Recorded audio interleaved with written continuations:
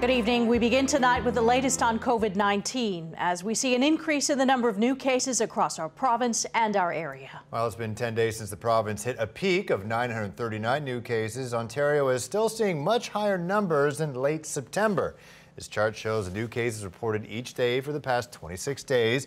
You can see that peak mentioned, 939, back on October 9th. From there, the cases move lower. However, remain well above 600 with 704 new cases reported today. And with that, we're learning new details about the wide-ranging spread of coronavirus connected to an outbreak at a downtown Hamilton spin cycle studio. Public Health released a report today showing how the virus spread from Spinco to other people and places. So far, at least 74 people have caught COVID-19 from the outbreak. Matt Ingram has more.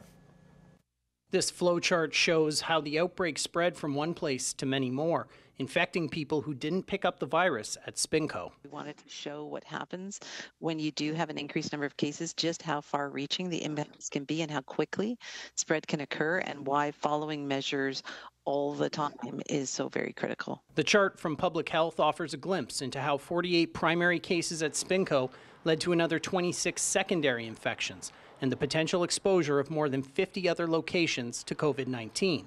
Locations including homes, restaurants, gyms, retail stores, healthcare facilities, and even schools.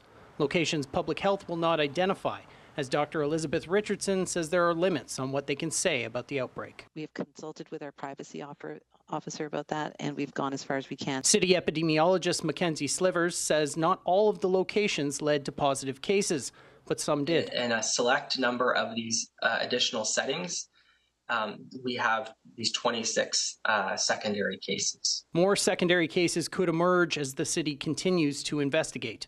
Public Health is issuing new interim guidelines for local gyms to try and prevent this from happening again as they wait for the province's public health measures table to decide if further COVID guidelines for gyms should be added province wide. In terms of gyms, is there more we should be doing? The guidelines include ensuring ventilation systems are working properly, no shouting or singing in exercise classes, physical distancing of at least three meters, a limit of 10 people, including staff, in a workout room, and making sure people now wear masks while they're working out.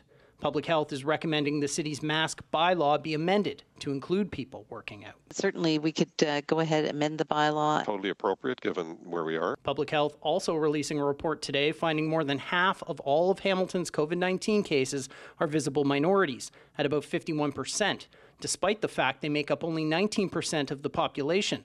The city's black community has been particularly hard hit, making up only 4% of the population, but accounting for 14% of all COVID 19 cases. There is um, a disproportionate impact of COVID 19. That disproportionate impact is being seen in the city's low income households as well, where you're more likely to catch a case, and with healthcare workers. Public Health says 20% of all Hamilton's coronavirus cases are among healthcare workers.